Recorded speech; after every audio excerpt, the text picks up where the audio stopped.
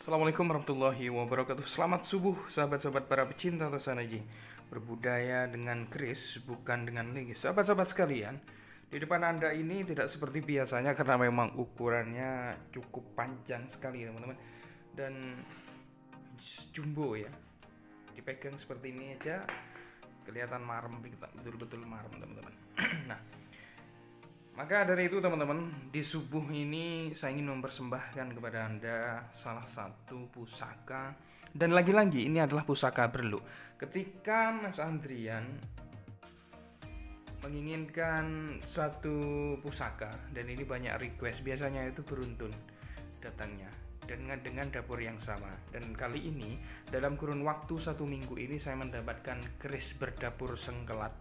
Itu kira-kira sudah ada empat biasanya memang sangat langka. Namun entah kenapa kondisi seperti sekarang ini yang banyak request dari para pandemen Senggelat ini seakan-akan saya merasa beruntun gitu dapatnya. Nah, kebetulan ini saya mendapatkan dengan langgam yang sangat-sangat bagus sekali.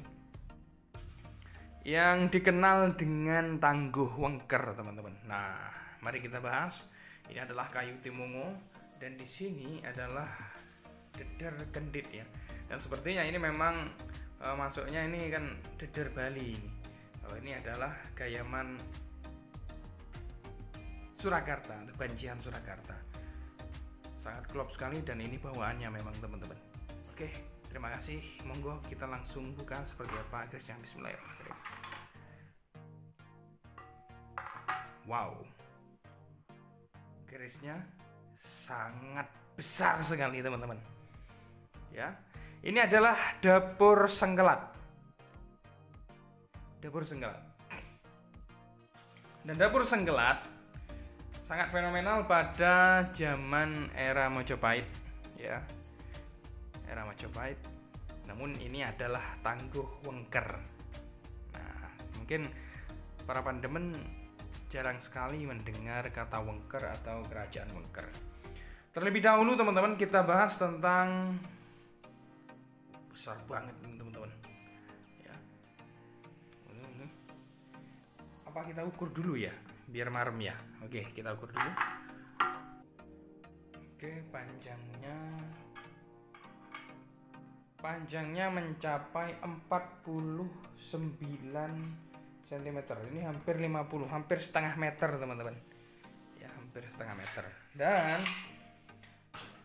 dapur sengkelat ini merupakan dapur yang berpamor pendaringan kebak. Pendaringan kebak merupakan pamor yang concern pada makna kerejekian. Pendaringan itu tempat ya tempat beras. Kebak itu artinya adalah full tempatnya. Jadi tempat beras itu yang banyak yang tumpah ruah yang uh, kebek ya bek ini beras itu bek. Sehingga ini bermakna sebuah hal kerejekian teman-teman. Panjang 49 meter termasuk jenis corok khas wangker. Nah saya menceritakan dulu tentang historis wangker ini. Jadi teman-teman sekalian wangker itu sudah ada semenjak era Mataram kuno ya. Jadi nama Wengker sendiri adalah akronim dari Wewengkon Angker nah, atau tempat yang angker. Letak kerajaan Wengker ini ya itu dulunya di bawah pimpinan Ketuwijaya. Ini dari berbagai macam versi termasuk Babat Ponorogo teman-teman disebutkan ini wilayah ya Wilayahnya sebelah utara itu antara Gunung Kendeng dan Gunung Pandan. Sebelah timur itu Gunung Wilis sampai wilayah Laut Selatan. Sebelah selatan itu wilayah Laut Selatan dan sebelah barat pegunungan mulai Laut Selatan sampai Gunung Lawu. Dalam babat ini juga disebutkan Keraton Wengker di sekitar Setono atau Kecamatan Jenangan.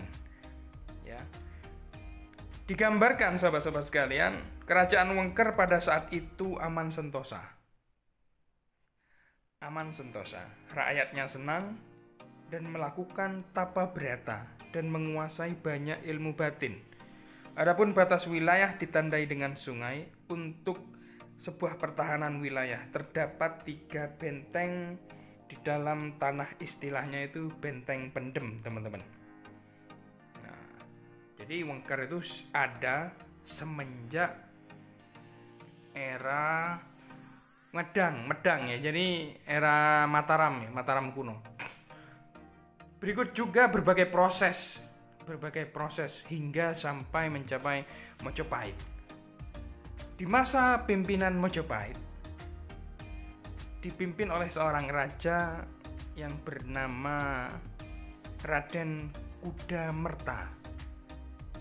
Di dalam kitab Negara Kertagama itu disebutkan Kerajaan Wengker beda versi lagi ini, perbedaan pendapat. Raja pertama yang membangun kerajaan Wengker itu disebutkan adalah Wijaya Rajasa sebagai raja pertama. Dan di dalam kitab Negara Kertagama, teman-teman, ya, disebutkan Raden Kuda Merta itu pimpinan Wengker di era Mojopahit, ya. Itu menikah dengan Bredaha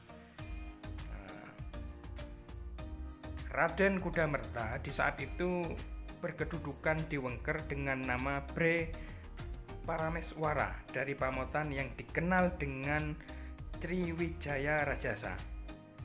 Namun sahabat-sahabat sekalian, meskipun ya, meskipun Wijaya Rajasa atau Kuda Merta ini merupakan sebuah raja Wengker. Namun diplomasinya memang kebanyakan Eh, tercurah pada kerajaan Mojopahit di waktu itu. Bukan berarti Wengker tidak diurus, teman-teman. Namun dengan kondisi masyarakat yang betul-betul spiritualis, banyak tabah berata sehingga apa? Sehingga para empunya itu mempunyai kekuatan-kekuatan spiritual. Empu yang linwe menciptakan sebuah senjata dan pusaka yang ampuh, termasuk pada keris wengker ini. Ciri-ciri khas dari keris wengker, teman-teman, termasuk terlihat gagah merbawani dan wesinya memang tergolong wesi yang sangat terjaga secara kualitasnya. Nah, sehingga apa? Sehingga keutuhan terjaga. Bahkan kalau dipegang kolektor itu bisa jadi memang utuh seperti yang Anda lihat di depan layar HP Anda ini. Oke, sahabat-sahabat sekalian, ini adalah tangguh wengker panjangnya 49 cm dapur sengkelat pamor pendaringan gebak wassalamualaikum warahmatullahi wabarakatuh. Salam budaya